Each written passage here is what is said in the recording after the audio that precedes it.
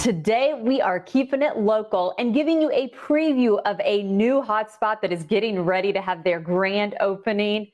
And guys, it deals with chocolate. I am so excited to introduce Drew Hill and Sydney Morton from Peterbrooke Chocolatier. Welcome to the show, ladies. How are Good you? Good morning. Thank you, Natalie. Um, I'm thanking you because I'm so excited to talk with you as you get ready to give Tampa Bay a taste of Peterbrooke chocolate. And you were telling me before we got started, this is a name that a lot of people in Northern Florida may know. I hadn't heard of it yet. And what I really love deals with chocolate, but number two, it also deals with family. Give us an idea of the backstory and why you wanted to bring it to Tampa Bay. Um, so we grew up in Jacksonville, Florida. We lived in Jacksonville for about 10 years. Um, and our mom was a teacher in Jacksonville. Um, so that's where it all started. Her students would bring her Peterbrooke chocolates here while she was a teacher, and she just became obsessed with it.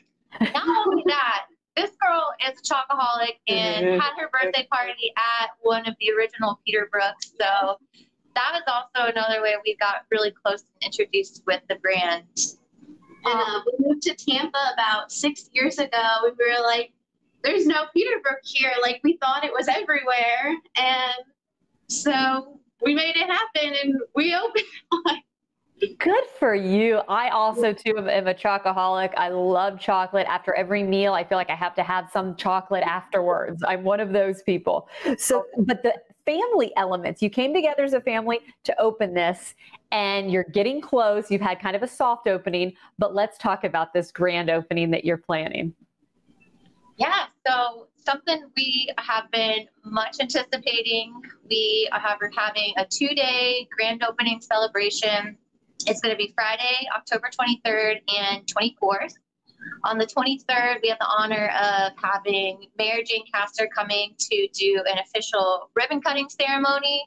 Uh, we're also going to have uh, tons of samples, uh, COVID though, so it's going to be very controlled, very safe.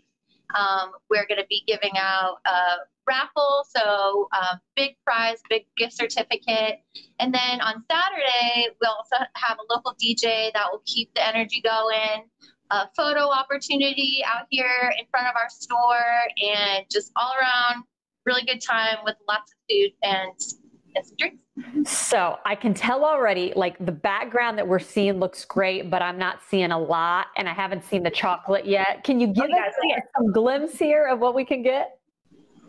So that's one of our public popcorn filled chocolate pumpkins, oh. something we do seasonally. Look at that. We are really well known for our chocolate covered popcorn, salty, buttery, sweet, all the best things in life. And then we do a lot of different gifting options. So um, all kinds of handmade custom bars, um, chocolate tulips and roses, gift baskets, any occasion, we got you covered. And pretty much everything you see here in the store, we do make it here in house. So it's all fresh and delicious. And we can take you back and show you the chocolate wheels as well.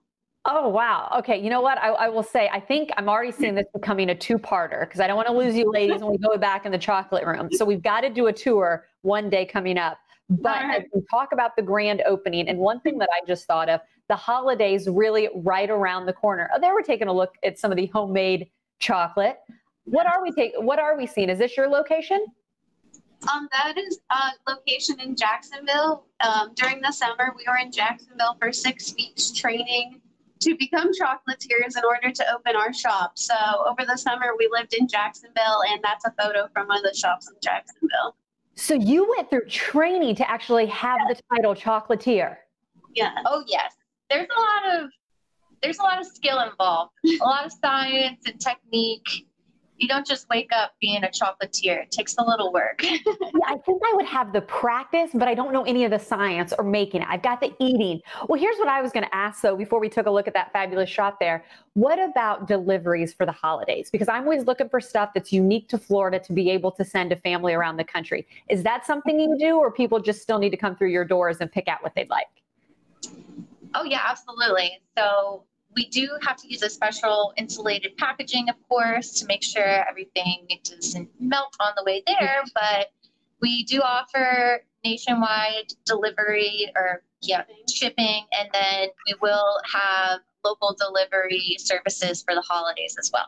Oh, this is such a win-win. Again, the grand opening, we want to make sure get the dates the 23rd, 24th. You're located in Sky Point right in downtown Tampa. I'm so glad you're here. I can't wait to visit you and thanks for being on the show today. Thank you, Natalie. We appreciate you.